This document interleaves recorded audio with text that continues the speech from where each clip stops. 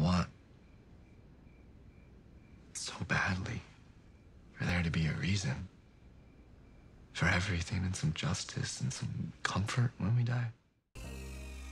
Midnight Mass is a story that has a wealth of knowledge and wisdom that you can extract from it. I want to express what I believe the true meaning of this story is. Keep in mind that this is what I found from watching this TV show, and you may find a different message when you watch it. Midnight Mass has many good messages. For example, not being a glutton, not putting your faith into something blind, or that something truly good, like the gospel of God, can be twisted to our own desires. Or perhaps that someone with good intentions can still do evil. Or it can also be about the path to finding forgiveness. It can speak to many people, but I want to pick at the heart of this TV show. In order to do this, let's go over a few scenes to get a little closer to what this is. Firstly, let's watch a brief interaction between the sheriff and his son Ali. You're the one who decided to become a Muslim for mom, and you're the one who decided to move here. She kept her faith. She honored him to her last moment. In this scene, we learn that the sheriff is a convert to Islam and joined because of his wife. At some point in the not too long ago past, she died of cancer. She was completely faithful until the end. He views this as part of what made her virtuous and strong. Due to this association with his wife and joining Islam, he views being faithful to Islam and loving his dead wife as the same thing. They are one in the same, and this is why it hurts him so much when his son loses interest in this religion. He believes that he and his son already have God, and in a sense, keeping this faith to God is keeping his love and faith for his dead wife. Many people in our lives view and associate faith in a religion as a family matter. So as we move forward, just keep that concept in mind. Next, let's watch the scene on the boat. I love you, Erin Greene. I love you my whole life. One way or another. I love you too. I did my best.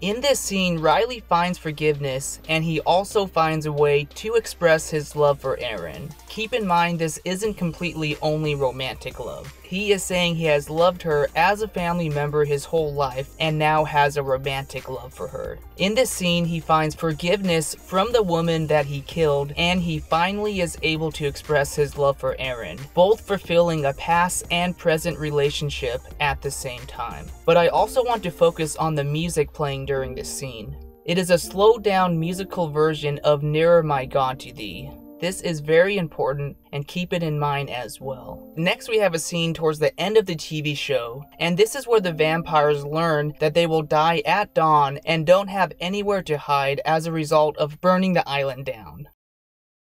You burned it. You burned it all. We should be looking for Leeza. Let's go find Leeza.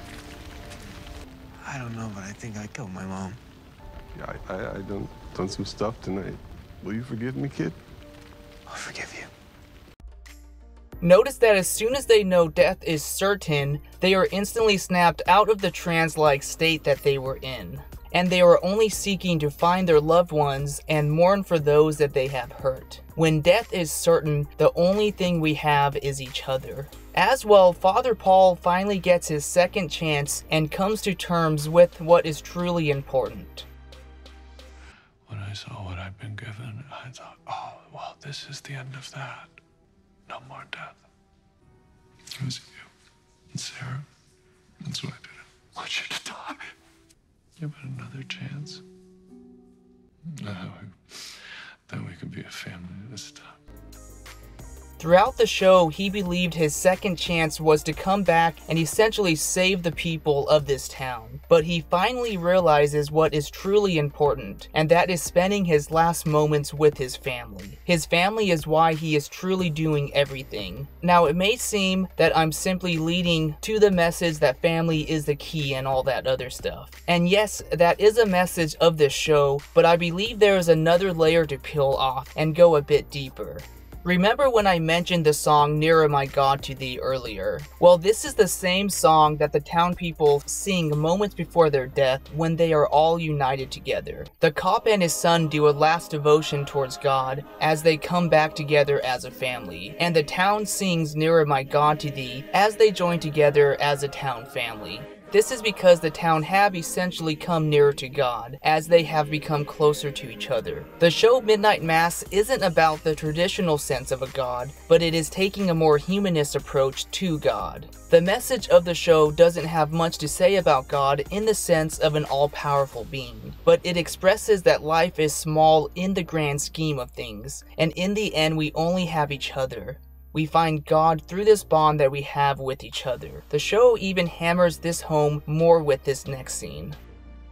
Every atom in my body was forged in a star. It's like a drop of water falling back into the ocean, of which it's always been a part. All things, everyone who's ever been, every plant, every animal, every atom, every star. And that's what we're talking about when we say God, the cosmos, and its infinite dreams. Midnight Mass is a story of human relationship, and this is where the peace in life is. All of us are connected to each other, life in general, and the universe. And this relationship is God. When we realize this, death doesn't mean anything.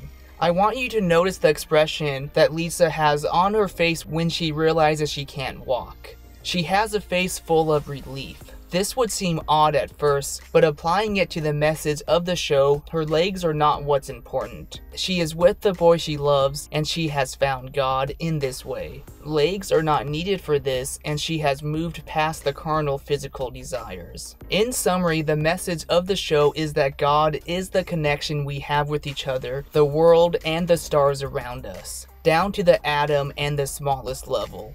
We are just a drop in the ocean of what makes God. We don't know what happens after death. This is the point of the boat dream that Riley has. He never gets to see what happens after the boat. He always wakes up because life is just a dream, and we spend it with the ones we love. But there are so many little things in the show I could keep going on about. But please just give me your thoughts on this topic. Do you think I'm right or wrong, or do you have a different understanding of the message of this show? Thanks a lot and have a great day.